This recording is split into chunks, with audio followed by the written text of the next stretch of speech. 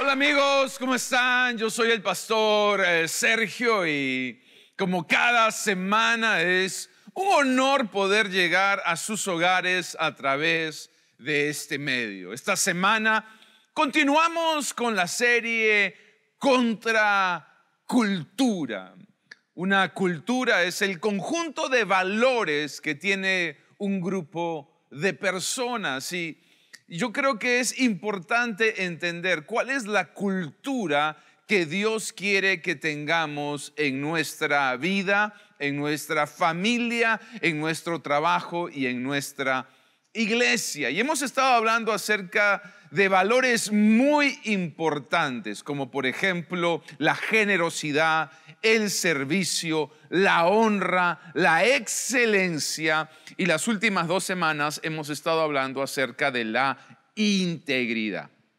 Hoy me gustaría añadir un valor más en esta serie y vamos a estar hablando acerca del evangelismo, una cultura de evangelismo. Miren lo que dice el libro de Hechos, capítulo 4, versículo del 1 al 4. Hechos 4 del 1 al 4 dice, mientras Pedro y Juan le hablaban a la gente, se vieron enfrentados por los sacerdotes, el capitán de la guardia del templo y algunos de los saduceos. Estos líderes estaban sumamente molestos porque Pedro y Juan enseñaban a la gente que hay resurrección de los muertos por medio de Jesús. Los arrestaron y como ya era de noche, los metieron a la cárcel hasta la mañana siguiente. Pero muchos de los que habían oído el mensaje lo creyeron. Así que el número de hombres creyentes ascendió a un total aproximado de 5 mil. Vivimos en una sociedad que tiene una indiferencia total a las cosas de Dios, a la iglesia de Dios, a la palabra de Dios, a la obra de Dios. Hay una apatía generalizada en el mundo acerca de todo lo que tiene que ver con Dios, su obra, su iglesia y su palabra. Lamentablemente esta apatía no solamente la vemos en la sociedad, no solamente la vemos en el mundo, sino aún la vemos dentro de la misma iglesia. Y muchos cristianos después de la pandemia han dejado su pasión, han dejado su fe, han dejado su llamado en cuarentena. Lo que me impacta es, si volvemos al texto que leímos, cómo los cristianos, los primeros cristianos, los primeros discípulos de Jesús, en este caso Pedro y Juan, a pesar de la persecución que vivieron, a pesar de que muchos eran encarcelados, otros eran golpeados, otros eran martirizados, nunca dejaron su llamado, nunca abandonaron su fe, nunca dejaron su pasión por Dios. Iglesia, es tiempo de volver a ganar almas y a ser discípulos. Es tiempo de volver a evangelizar. Es tiempo de volver a cumplir con la gran comisión. Dentro de la cultura, dentro del ADN de nuestra iglesia, siempre ha estado presente el evangelismo. Somos una iglesia ganadora de almas. Somos una iglesia que cree en el evangelismo. Somos una iglesia que hace discípulos. Y creo que esto es muy, muy importante. Es impresionante cómo a través de los años y a pesar de los diferentes momentos que hemos vivido, la iglesia agua viva nunca ha dejado de evangelizar, nunca ha dejado de ganar almas. Es por eso que no importa el lugar donde yo viaje a predicar, siempre me encuentro con personas que me dicen, yo conocí de Jesús en agua viva. Recuerdo inclusive una vez que estaba predicando en Israel. en la zona sur de Israel, cerca a la franja de Gaza, casi en el límite con Egipto, en una ciudad que se llama Beersheba.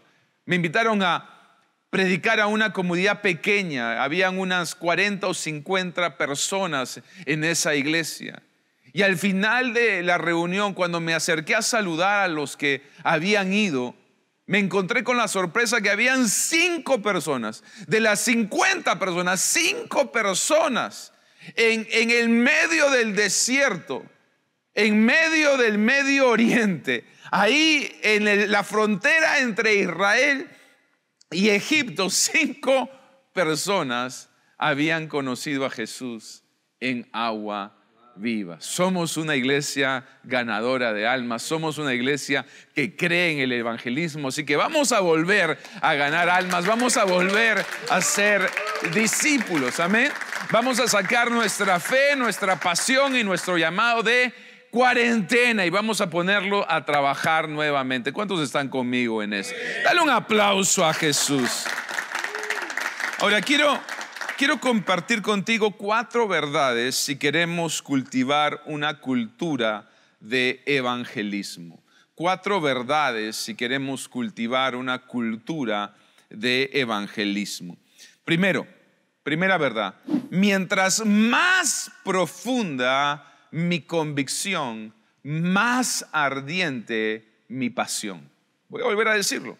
Mientras más profunda es mi convicción, más ardiente es mi pasión. Mira lo que dice el mismo texto en Hechos capítulo 4, verso del 8 al 10.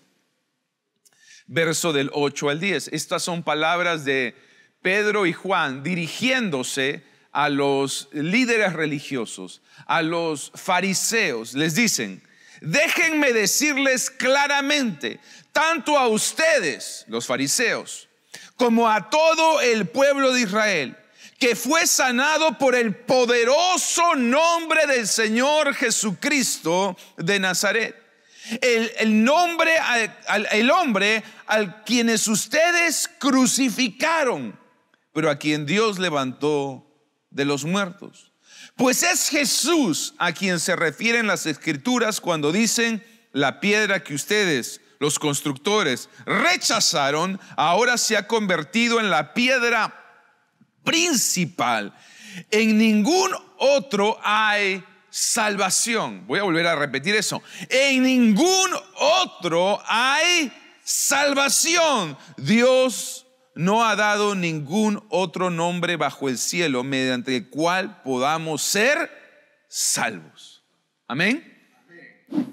Primer principio, primera verdad. Mientras más profunda es mi convicción, más ardiente es mi pasión. Lo primero que me impacta de este texto es la, la pasión con la que Pedro habla acerca de Jesús, aun cuando él sabía que sus palabras podían costarle la vida. ¿Cuántos me están siguiendo?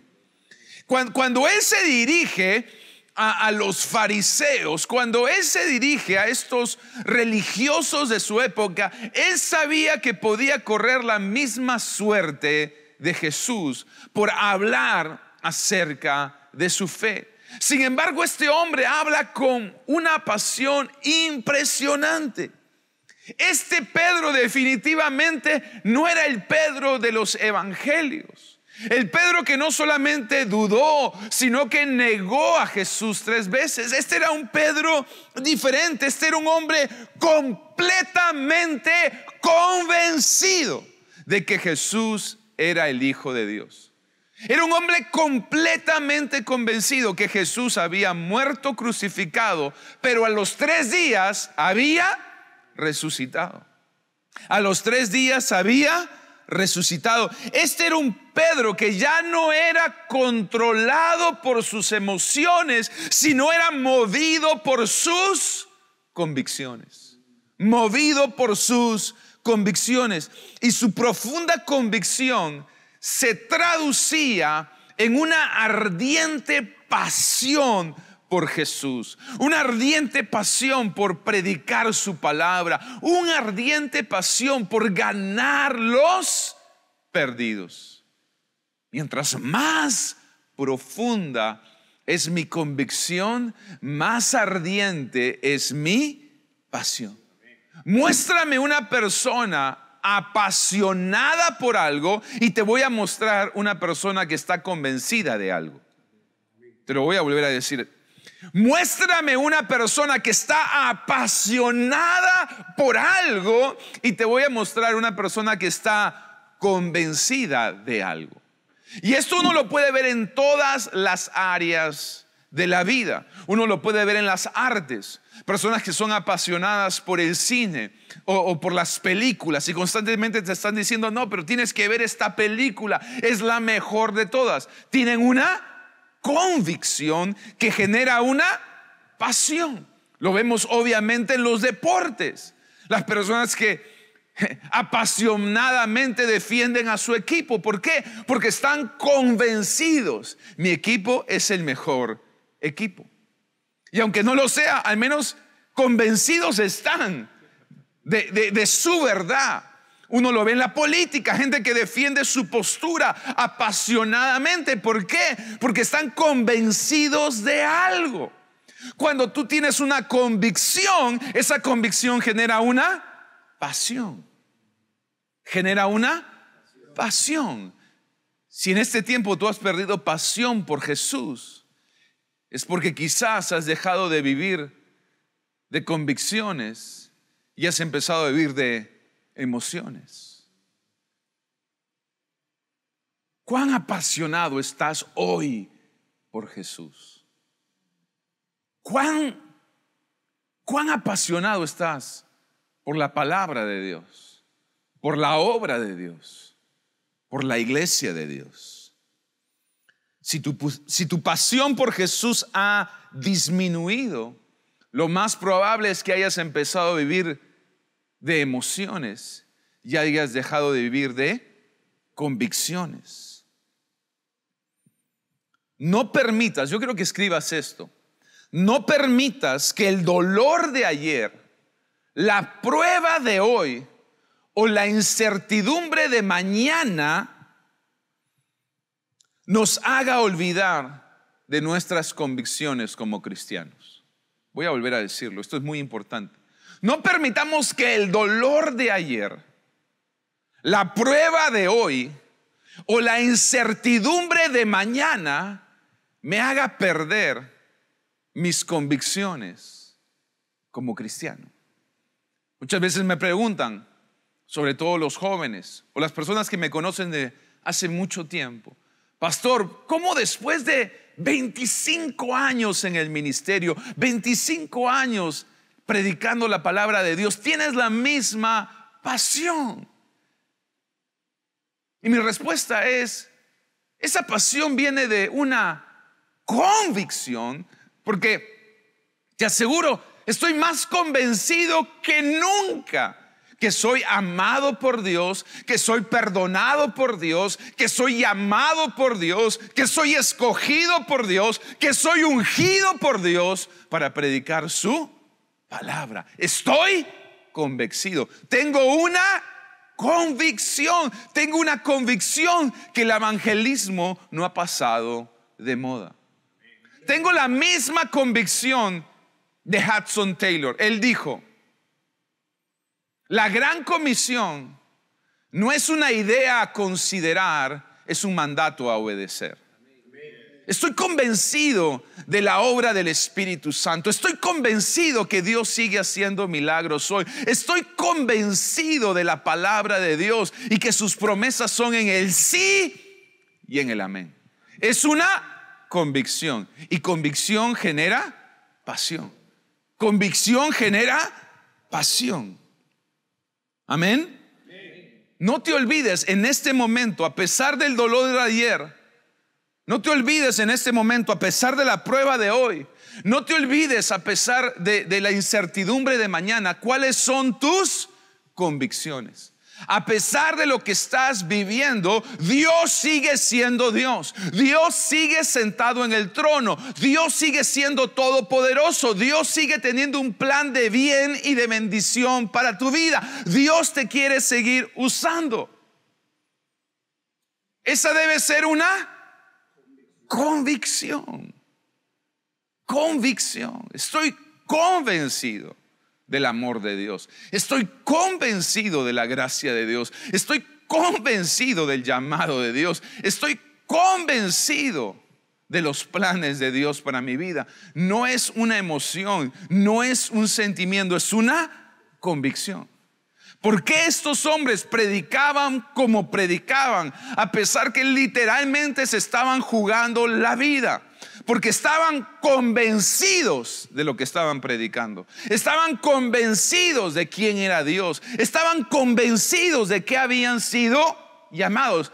Vivían por convicción. Convicción. Si tú quieres ser un ganador de almas, si tú quieres poder evangelizar, no puedes vivir de emociones, tienes que vivir de convicciones. Porque una vez más, mientras más profunda es tu convicción, más ardiente va a ser tu pasión.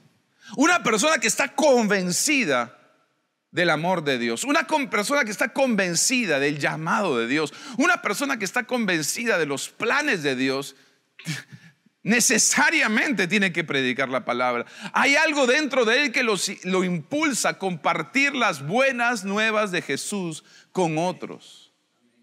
Es una convicción. Es una convicción.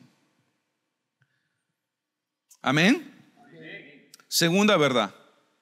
Mientras más fuertes son mis razones, más débiles son mis excusas.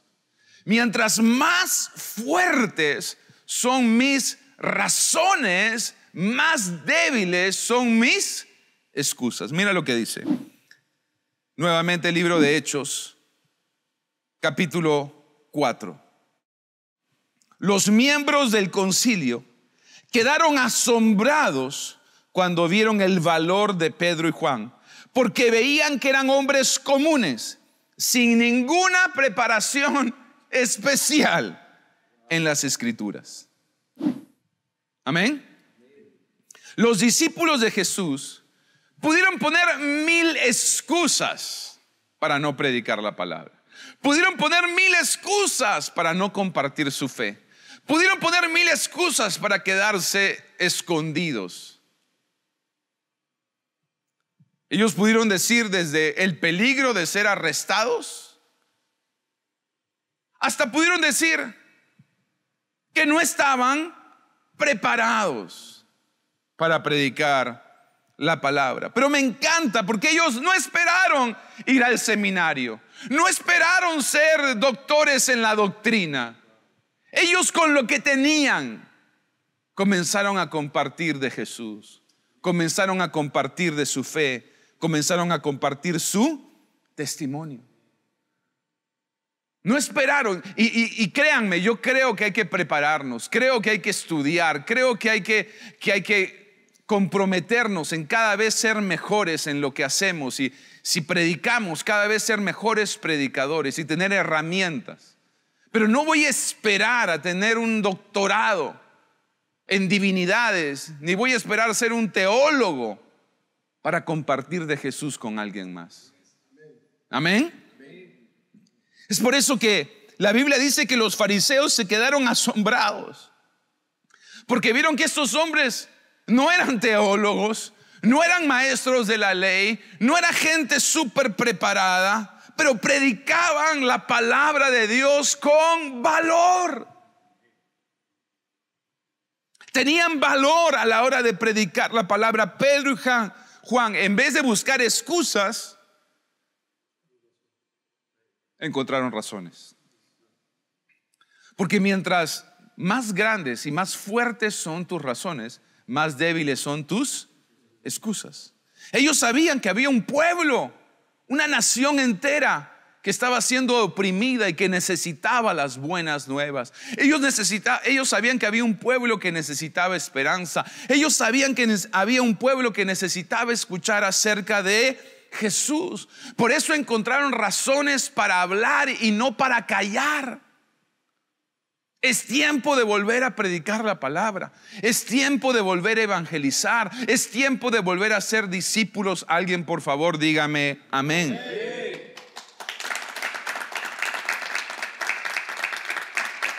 Iglesia, hay una realidad y la realidad es que muchas personas están viviendo sin Jesús. Y aún lo más duro, hay muchas personas que están muriendo sin Jesús. Hay gente que está viviendo sin Jesús, hay gente que está muriendo sin Jesús. Hay gente que está viviendo un infierno y hay gente que se está yendo al infierno.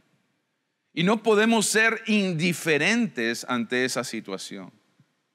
Tenemos que ser conscientes de que solo hay dos lugares donde uno va después de la muerte el cielo y el infierno. Cualquier otra cosa es un invento. Hay dos lugares, cielo o infierno, donde vamos a pasar la eternidad.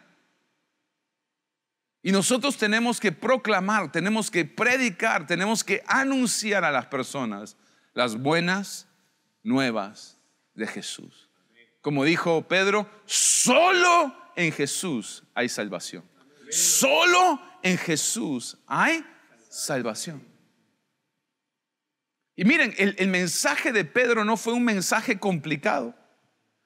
El mensaje de los apóstoles no fue un mensaje, no fue un mensaje complicado, fue hay vida eterna, hay resurrección en Cristo Jesús. Nada complejo, nada complicado. Un mensaje relevante para el momento en que el pueblo estaba viviendo. Así que no tenemos que ser expertos en la palabra ni maestros en la doctrina para ser evangelistas, para predicar la palabra de Dios. Usa lo que Dios te ha dado. No hay nada más potente que tu testimonio. ¿De qué estaban hablando Pedro y Juan? De lo que habían visto. ¿Qué habían visto a Jesús resucitado? ¿Qué es lo que tú has visto en tu vida? ¿Has visto una transformación? ¿Has visto un cambio? De eso predica de lo que Jesús ha hecho en tu vida. No hay mensaje más potente que tu propio testimonio. La pregunta es, ¿estamos buscando excusas o estamos encontrando razones para predicar la palabra? ¿Estamos buscando excusas o estamos encontrando razones para evangelizar? Tercero, Mientras más tiempo paso con Jesús, más real es Jesús en mi vida. Mientras más tiempo paso con Jesús, más real es Jesús en mi vida. Mira, ahí mismo en el verso 13, capítulo 4, verso 13, leímos la primera parte donde ellos se asombran de su valor, del valor de Juan y Pedro al predicar la palabra. Ellos se dan cuenta estos son personas del pueblo, estas son personas que no tienen mayor preparación, pero miren ese valor, miren ese denuedo, miren esa fe para predicar, esa pasión para predicar la palabra. Ellos se sorprenden y luego terminan diciendo esto. Esto es súper importante en el mensaje. Dice, también los identificaron como hombres que habían estado con Jesús. Ellos se dieron cuenta, hay algo diferente en estos la forma en que predican, la forma en que ministran, la forma en que comparten su fe. Wow, miren ese valor. Son gente, son gente sin estudios, son gente sin preparación. Ah, pero hay algo que podemos notar en ellos. Hay algo que se les puede reconocer. Han estado con Jesús. Han estado con Jesús. Mientras más tiempo paso con Jesús, más real es Jesús en mi vida. Los fariseos percibieron cómo Pedro y Juan eran hombres que habían estado con Jesús. Noten, las personas se dan cuenta cuando tú pasas tiempo con Jesús. No te lo van a decir, pero la gente lo nota. Oye, esa persona tiene algo diferente. Algunos le pueden llamar carisma, otros le pueden llamar karma, otros le pueden llamar aurea, otros le pueden llamar vibra, pero tú sabes que están hablando del Jesús dentro de ti. Hay, hay algo que tiene esa persona. Hay algo que tiene esa persona en su forma de hablar, en su forma de pensar, en su forma de vivir. Es Jesús. Es Jesús siendo real en tu vida, en tus decisiones, en tus palabras, en tu forma en que te comportas. La gente nota Nota a Jesús en tu predicación, la gente nota a Jesús en tu ministración, la gente nota a Jesús en tu consejería, la gente nota el valor con el que predicas, la gente nota la unción con la que ministras, la gente nota la sabiduría con la que aconsejas, la gente nota cuando tú has pasado con tiempo con Jesús, tiempo en oración, tiempo en su palabra, tiempo meditando meditando las promesas de Dios. La gente lo nota, la gente sabe, este, este, tipo ha pasado tiempo con Jesús, su forma de hablar, su forma de ministrar, su forma de aconsejar, su forma en que piensa, la forma en que ve el mundo, la forma en que enfrenta los desafíos, tiene que ser Jesús. Jesús es real. Su forma en, comportarse, su carácter. Se nota que ha pasado tiempo con... Porque cuando tú pasas tiempo con Jesús, hay, hay, algo que sucede en tu vida, las características, las cualidades. Tú comienzas a parecerte a Jesús. Su carácter se te comienza a pegar, sus características se comienzan a pegar en tu vida. Comienzas a ser cada vez más como Jesús. Amén. Es, es, importante, es importante. Antes de hablar de Jesús, habla con Jesús. Principio súper importante del evangelismo. Antes de hablar de Jesús, habla con Jesús. Porque una vida sin oración es una vida sin poder. Si tú vas a hablar tus propias palabras o tus propias ideas, puedes inspirar a las personas, pero solo Jesús puede transformar las personas. Me, me encanta cómo lo dice Billy Graham. Billy Graham, uno de los grandes evangelistas, quizás el mayor evangelista del siglo pasado, dijo lo siguiente, la oración es crucial en el evangelismo. Solo Dios puede cambiar el corazón de alguien que está en rebelión contra Él. No importa cuán lógicos sean nuestros argumentos o cuán buenas sean nuestras ideas, nuestras palabras no lograrán nada a menos que el Espíritu de Dios prepare el camino. Nuestras palabras, nuestra predicación, nuestra doctrina no va a lograr nada a menos que el Espíritu Santo no prepare el camino. ¿Qué hace la oración? Prepara el camino. Es bueno orar por las personas a las cuales les vas a predicar. Y aún no sepas a quién les vas a predicar, el Espíritu Santo sí sabe a quién le vas a predicar. Así que pasa tiempo en oración. Pídele al Espíritu Santo que te ayude.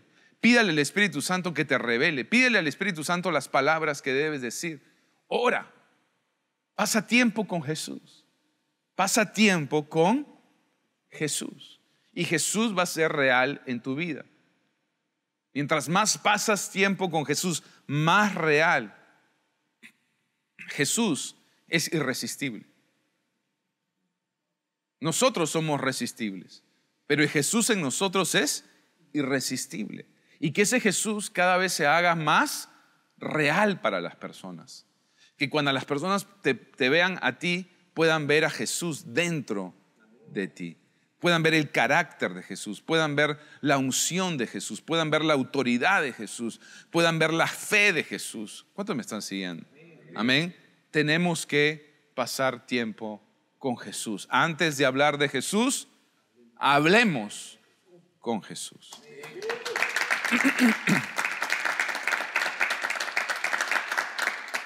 Antes de compartir este mensaje, yo no me atrevería a subir a esta plataforma y pararme en este púlpito si primero no he hablado con Jesús. Él es el que nos ayuda a predicar acerca de Él. Amén. Finalmente, última verdad. Mientras más pido por valor, más vivo con fervor. Mientras más pido por valor, más vivo por fervor. Mira lo que dice Hechos 4:29. Todo el texto en el cual hemos basado el mensaje de hoy es el texto de Hechos 4. Obviamente por razones de tiempo no he leído todo el capítulo, ustedes lo pueden hacer en casa. Pero noten qué importante, mira lo que dice Hechos 4:29. Y ahora, oh Señor, escucha sus amenazas y danos a nosotros, tus siervos, mucho valor al predicar tu palabra. Y danos mucho valor al predicar tu palabra. Me desafía, me inspira, me reta la oración de los discípulos de Jesús. Ellos no pidieron por la bendición de Dios. Ellos no pidieron la provisión de Dios. Ellos no pidieron ni siquiera la protección de Dios. Ellos no pidieron una vida cómoda, ellos no pidieron una vida segura, ellos pidieron una cosa. Señor, a pesar de los peligros, a pesar de las amenazas, danos valor para predicar tu palabra. Danos valor para predicar tu palabra. ¿Sabes qué llamo a esto yo? Una oración peligrosa. Una oración atrevida. No la oración que normalmente hacemos. Señor, bendíceme. Señor, sáname. Señor, protégeme. Señor, cuídame. Señor, cásame. No. No, Señor, hay amenazas, hay pruebas, hay problemas, pero te pido valor para predicar tu palabra. Valor para en medio de la prueba seguir predicando tu palabra. Valor para en medio de la, del problema seguir predicando tu palabra. Valor a pesar de las acusaciones a seguir predicando tu palabra. ¿Saben que está comprobado que la razón número uno por las que las personas no evangelizan, no predican la palabra, no comparten su fe, la razón número uno en esencia es el temor. El temor a hablar, el temor a fracasar, el temor a ser avergonzado, el temor a ser rechazado. En esencia, eh, el enemigo número uno del evangelismo es el temor. Es por eso que es muy interesante que ellos piden por valor. Ellos piden por valor. Ellos le dicen, Señor, hay amenazas, hay peligros, hay oposición. Por eso danos valor. Iglesia, yo quiero motivarte por un momento a que hagas esta clase de oración. No digo que está mal pedir por provisión y por protección. Pero ¿hace cuánto tiempo que no pedimos por valor para predicar su palabra? ¿Hace cuánto tiempo que no pedimos por valor para abrir un grupo? ¿Hace cuánto que no pedimos por valor para hacer discípulos? ¿Hace cuánto que no pedimos este tipo y esta clase de oraciones? No estoy en contra de orar por la provisión de Dios y la protección de Dios y la bendición de Dios. Pero ¿por qué no añadimos en nuestra oración? Y le decimos, Señor, en este tiempo dame valor para predicar tu palabra. Señor, estoy pasando por pruebas, pero dame valor para predicar tu palabra. Señor, hay amenazas, pero dame valor para predicar tu palabra. Señor, estoy todavía pagando deudas, pero dame valor para predicar tu palabra. Señor, estoy sufriendo una enfermedad, pero dame valor para predicar tu palabra. A pesar de, del dolor de ayer, a pesar de las pruebas de hoy y la incertidumbre de mañana, dame valor para predicar tu palabra. Señor, dame valor para predicar tu palabra. Iglesia, yo los quiero desafiar a volver a la esencia, volver a, al ADN de nuestra iglesia. La cultura es una cultura indiferente a las cosas de Dios, a la obra de Dios, a la palabra de Dios, a la iglesia de Dios. Pero nosotros nos debemos volver a apasionar, apasionar por las cosas de Dios, por la palabra de Dios, por la obra de Dios, por el llamado de Dios, por la iglesia de Dios. Y para eso necesitamos, necesitamos entender que parte de la cultura, de la esencia de nosotros como cristianos, es el evangelismo. El doctor Luis Palau, que hace algún tiempo pasó la presencia de Dios, dijo, el evangelismo no es opcional en la iglesia. No es, no es algo opcional, es necesario, es indispensable. Una iglesia que deja de evangelizar es una iglesia que empieza a fosilizar. Volvamos a las raíces, volvamos nuevamente a predicar la palabra, a compartir nuestra fe, volvamos a abrir nuestro grupo, volvamos a ser discípulos. Saquemos nuestro llamado, nuestra fe y nuestra pasión de cuarentena.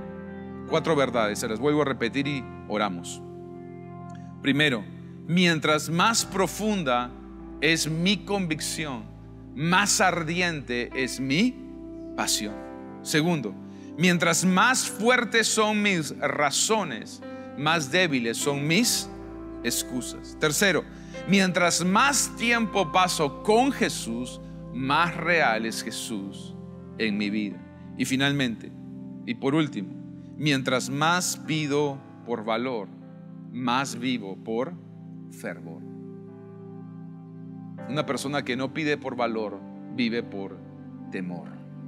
Pero Dios no nos ha llamado a vivir por temor, sino con un fervor, con una devoción, con una pasión por su causa, por su obra, por su palabra, por su llamado, por su iglesia. Amén.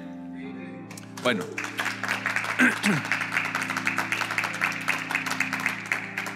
Vamos a, orar y terminamos, terminamos la reunión de hoy. Y me gustaría invitarlos hoy si si tú no has hecho una oración de entrega, una oración entregando tu vida a Jesús, una oración poniendo a Jesús en el primer lugar de tu vida, recibiéndolo como Señor y Salvador, una oración de arrepentimiento donde reconoces tu necesidad de Dios.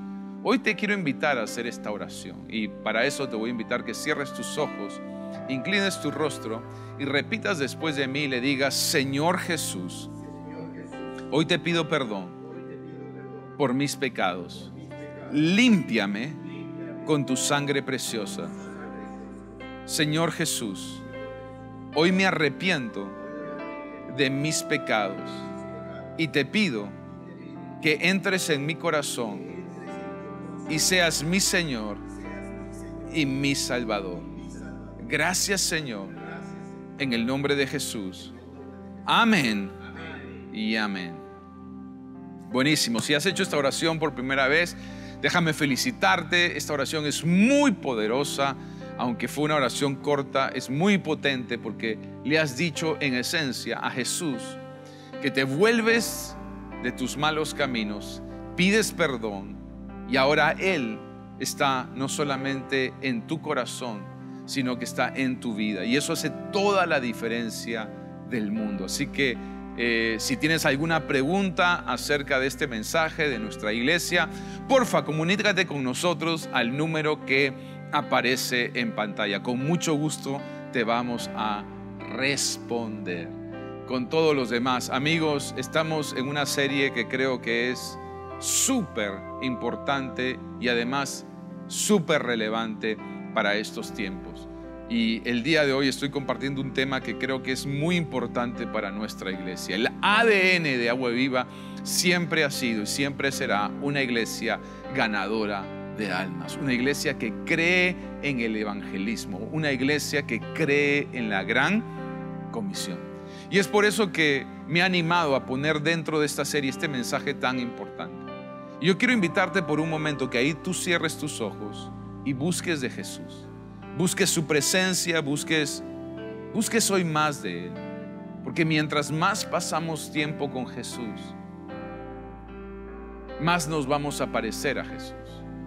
Más vamos a tener sus pensamientos, más vamos a tener su carácter, más vamos a tener sus motivaciones. Busca a Dios, pídele a Él que renueve tus principios, tus valores, tus convicciones. Si habían convicciones que habían empezado a entibiarse, a diluirse, a debilitarse, que hoy Dios afirme esas convicciones, esa convicción en tu fe, esa convicción en el perdón, en la gracia, esa convicción en el amor, en el llamado, en el propósito de Dios para tu vida. Que hoy Dios quite toda duda de tu corazón, quite todo temor de tu vida. Que hoy vuelva a arder esa pasión por las cosas de Dios, por la obra de Dios, por el llamado de Dios, por la palabra de Dios, por la presencia de Dios, por la casa de Dios, por la iglesia de Dios. Que hoy vuelva a encenderse esa llama, esa pasión por ministrar, por evangelizar, por predicar, por abrir un grupo, por disipular a otros, por llevar las buenas nuevas de Jesús a un mundo quebrado, perdido, olvidado. Que hoy Dios vuelva a encender en fuego tu corazón. Que hoy nuevamente vuelvas a arder en tu llamado. Que hoy nuevamente recuperes tu propósito. Espíritu Santo, haz tu obra en cada corazón y en cada vida.